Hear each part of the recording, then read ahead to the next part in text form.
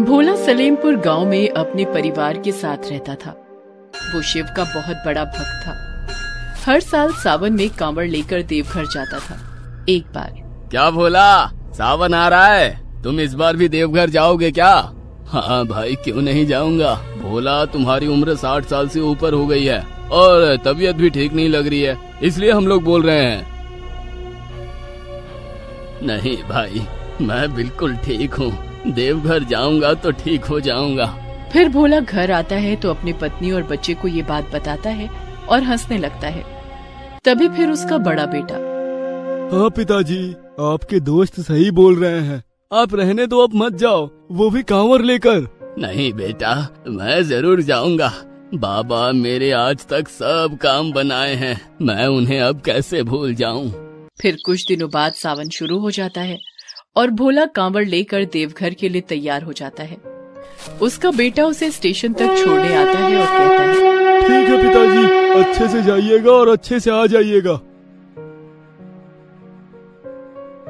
ठीक है बेटा तुम चिंता मत करो बाबा मेरे साथ है। बोलो बेटा बोल बम।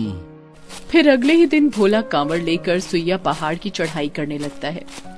सुइया पहाड़ की चढ़ाई अभी खत्म भी नहीं होती है कि वो बेहोश होकर गिर जाता है।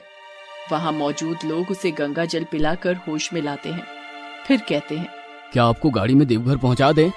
नहीं मुझे बस पानी पिला दीजिए। मैं कावर लेकर ही बाबा की नगरी जाऊँगा। फिर भोला एक दिन का सफ़र तय कर देवघर पहुँच गया और बाबा को जल अर्पित कर वो आशीर्वाद माँगता है। बाबा मुझे आशीर्वाद दो। जब तक मैं ज़िंदा रहूँ आपके दर कांवर लेकर आता रहूँ। फिर भोला प्रसाद लेकर घर लौट जाता है। घर पहुँचने पर पता चलता है कि उसके घर वालों को उसके बेहोश होने वाली घटना बता दी गई है। देखा पिताजी हम ठीक बोल रहे थे नहीं जाने के लिए। हाँ ठीक है बेटा लेकिन मेरे भोले हैं ना मुझे कुछ नहीं होगा। पिताजी अब आप जिद मत कीजिए अगले साल से आप नहीं जाइएगा देवघर। अच्छा ठीक है बेटा। अगले साल का अगले साल देखा जाएगा। फिर ऐसे ही कुछ दिन अच्छे से बीत गए। अगले साल का सावन आ गया। फिर गाँव में भोला के दोस्त। क्या सोचा भोला इस बार? हाँ हाँ इस बार भी जाएँगे देवघर। क्या भोला तुम भी हर बार जिद किए रहते हो लेकिन इस बार तुम्हारे घर वाले जाने देंगे तब ना। अरे हम घर वालों की मर्ज़ी से नहीं चलते हैं। हम शंकर जी की मर्ज़ी से चलते हैं। भोला घर जाकर देवघर जाने की तैयारी करने लगा। तभी ये सब देख भोला की पत्नी बोली आप क्यों जा रहे हैं जी? जब बच्चे मना कर रहे हैं तो क्यों जिद पर अड़े हैं? फिर कुछ हो जाएगा तो मेरा क्या होगा? अरे मेरी भाग्यवान तुम चिंता मत करो। शंकर जी मुझे कुछ नहीं होने देंगे। दोनों बेटे अपने पिता की बातें सुन रहे होते हैं। फिर बोलते हैं पिताजी आप क्यों जिद कर रहे हैं? तबीयत ठीक नहीं रहती ना आपकी? बेटा कुछ नहीं हुआ है। मैं ठीक हूँ। ये थोड़ी सी खांसी होते रहती है। पिताजी आप जिद मत कीजिए। हम आपको गाड़ी कर देते हैं। आप चले जाइए। नहीं बेटा मैं कांवर लेकर पैदल ही जाऊँगा। ठीक है पिताजी आपको जाना है तो जाइए। हम लोग आपको पैसे नहीं देंगे। मोहन की ये बात सुन भोला को बुरा लगा और वो घर के बाहर चला गया। ये देख अंजना भी मोहन को गुस्से से देखने लगी फिर बोलती है बेटा तुम इतने बड़े हो गए हो कि तुम अपने पिता को पैसे देने से मना कर रहे हो जो तुम्हें पैसे कमाने सिखाए उन्हीं को? माँ आप मुझे गलत मत समझो लेकिन मैं चाहता हूँ कि शायद मैं पैसे ना दूँ तो पिताजी ऐसी हालत में देवघर ना जाए। बस इसलिए बोला। हाँ भैया आपने ठीक कहा। बेटा सोची तो तुमने ठीक है। लेकिन मुझे नहीं लगता तुम्हारे पिताजी ऐसे मानेंगे। मोहन घर से बाहर जाकर शिव मंदिर पर बैठकर कुछ देर सोचता है और फिर घर आकर कांवड़ लेकर देवघर के लिए निकल पड़ा। शिव का नाम बोलता हुआ क्या भोला तुम यहाँ से पैदल जा रहे हो? हैं? पागल तो नहीं हो गए हो? नहीं भाई मैं ठीक हूँ। बस मुझे बाबा की नगरी जाना है। फिर कुछ दूर चलते ही एक गाड़ी लिए मुसाफिर मिला और बोलता है बाबा आपको कहाँ जाना है? चलो मैं छोड़ देता हूँ। नहीं बेटा मेरे पास कोई पैसे नहीं है तुम्हें भाड़ा देने के लिए इसलिए मैं नहीं जा सकता।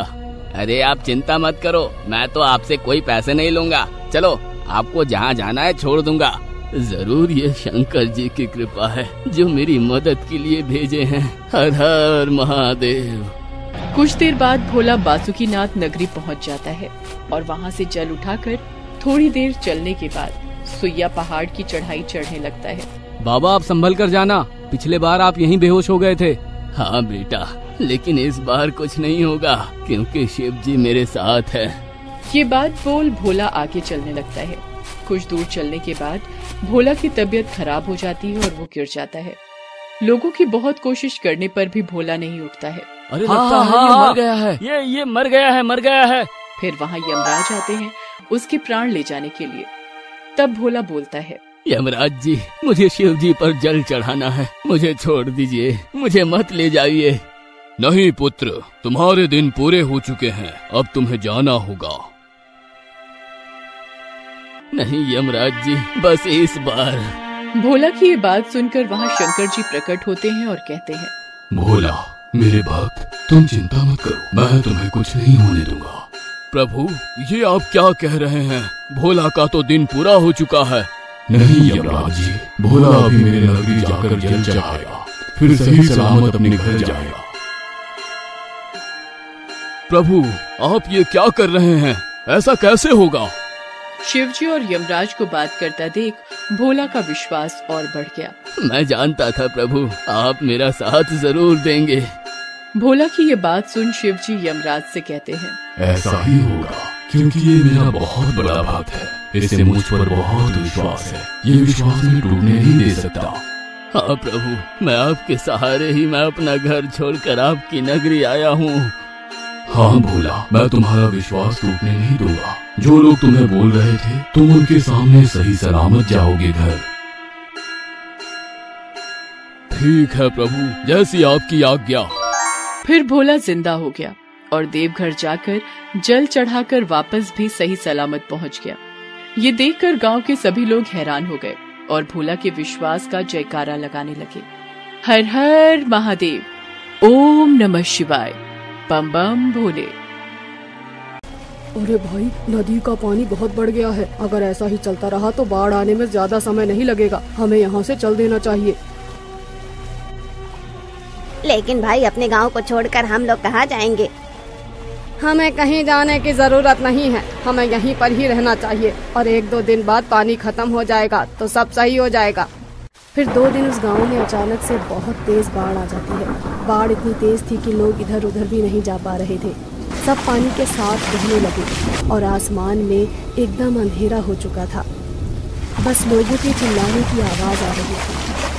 अरे बचाओ अरे बचाओ कोई तो हमारी मदद करो। अरे हमें कोई इस बाढ़ के कहर से बचाओ। अरे भैया कोई है? अरे बचाओ। तभी लोगों को एक चीज़ हवा में उड़ती हुई दिखाई देती है।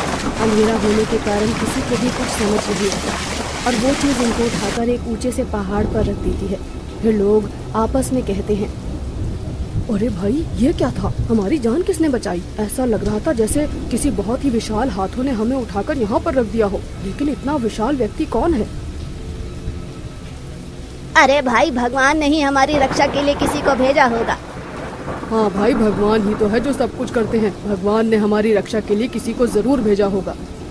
बात तो ठीक है कि भगवान ने हमारी रक्षा के लिए किसी को भेजा है लेकिन सोचने वाली बात तो ये है कि आखिर वो कौन था जिसने इतने अंधेरे में बाढ़ में आकर हमारी रक्षा की। ये कोई साधारण बात तो नहीं है ना? हाँ भाई तुम सही बोल रहे हो। हमें तो पता करना चाहिए कि आखिर वो विशाल चीज़ क्या थी जिसने हम सबकी जान बचाई है। तभी वो लोग देखते हैं कि कुछ और लोग उस पर्वत पर लेकर रखे गए हैं। वो लोग भी यही बातें कर रहे थे। अरे भाई कोई हमारा रक्षक था मुझे तो ऐसा लग रहा है जैसे कोई बड़ा सा हाथ हमको उठाकर यहाँ पर लाकर रख दिया हो। लेकिन अंधेरा होने के कारण कुछ भी दिखाई नहीं दे रहा। उसी दौरान एक आदमी पहाड़ से खिसक कर नीचे गिरने ही वाला था। तभी उसे किसी ने उठाकर पहाड़ पर रख दिया और वो आदमी नीचे गिरने से बच गया। हे भगवान तूने इसे भेजकर मेरी जान बचा ली। तेरा लाख लाख शुक्रिया। तभी एक बच्चा रोने लगता है और वो रोते हुए अपनी माँ से कहता है मम्मी मुझे बहुत भूख लगी है। मैंने सुबह से कुछ भी नहीं खाया और अब खाने के टाइम पर बाढ़ आ गई। मुझे कुछ खाने को तो जल्दी से। भूख लगी है माँ। अब मैं क्या करूँ? मेरे बच्चे थोड़ा सब्र कर। जैसे ही पानी कम होगा मैं तेरे लिए खाना लेकर आ जाऊँगी। कहीं ना कहीं से भी। बस अभी के लिए थोड़ा सब्र कर ले। नहीं माँ मुझसे नहीं रहा जाता। मुझे बहुत तेज भूख लगी है। कुछ तो करो माँ। फिर वो बच्चा बहुत रोने लगता है और अपने आसपास की चीज़ें, पत्थर, पेड़ की टहनी, गुस्से से इधर उधर फेंकने लगता है। बच्चे की व्यवस्था और जिद देख कर माँ उसे मारने लगती है और कहती है, तुझे इतनी बार समझा दिया, तेरी समझ में कुछ नहीं आ रहा। अब तू ही बता इस पहाड़ पर तुझे मैं क्या खिलाऊं और खुद क्या खाऊं? मुझे तो कुछ समझ ही नहीं आ रहा। तभी उनके पास खड़ी दूसरी औरत उन्हें कहती है अरे बहन जी, क्यों बच्चे को मार रही हो? इसमें उसकी क्या गलती है? बाढ़ की वजह से किसी ने कुछ भी नहीं खाया है, और अभी तो कोई आसार भी नहीं देख रहे कि कुछ खाने को मिलेगा यहाँ। क्या बताऊँ बहन जी, ऐसा समय नहीं आया मेरी ज़िंदगी में कि मैंने अपने बच्चे को ऐसे भूखा रखा हो। इस बाढ़ ने तो हम सबकी ज़िंदगी तबाह कर दी है। अब क्या करे बहन जी? बाढ़ के रुकने और उसका इंतज़ार करने के अलावा कोई चारा भी तो नहीं है। नहीं नहीं, मैं ऐसा नहीं होने दे सकती। मेरा बच्चा ऐसे भूख से बिल्कुल नहीं तड़पेगा। मुझे कुछ करना ही होगा। अरे बहन, हम लोगों के बस की बाहर की बात है ये। अब तो भगवान ही कुछ चमत्कार कर सकते हैं। भगवान के अलावा और कोई सहारा नहीं है हमारा। दोनों औरतें आपस में बात कर ही रही होती हैं कि तभी वो देखती हैं कि उनके आसपास में बहुत सारे केले एक साथ आकर रखे जाते हैं। इतने सारे केले को देखकर वो लोग कहते हैं अरे देखो भाई, यहाँ तो हमारे लिए केले भी आ गए। आखिर ये दरिया दिल इंसान है कौन? ले मेरे बच्चे, अब केले खा ले। इससे तेरी भूख कम हो जाएगी और तुझे कुछ देर के लिए राहत भी मिलेगी। फिर सभी लोग और वो बच्चा केले खाकर अपनी भूख मिटाते हैं और सब लोग कहते हैं, हे भगवान, हमारा कीमती सामान भी खराब हो जाएगा। कोई उनकी रक्षा करे। वैसे ही इस बाढ़ ने हमारा सब कुछ छीन लिया है। घर, बार, खेती, बाड़ी पशु पक्षी अब तो थोड़ा रहम कर लो प्रभु।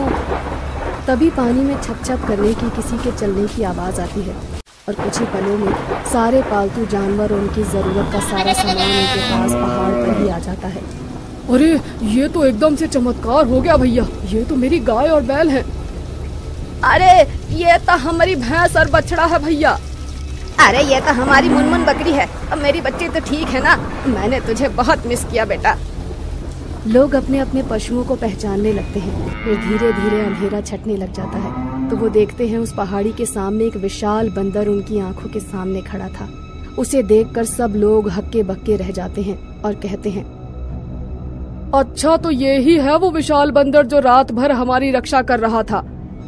हे विशाल बंदर, तुम कहाँ से आए हो और तुमने हमारी रक्षा क्यों करी? क्या तुम्हें हमारी रक्षा करने के लिए भगवान ने भेजा है? हाँ भाई, तुम सही कह रहे हो। हमारी रक्षा करने के लिए ज़रूर भगवान ने ही इसे भेजा है।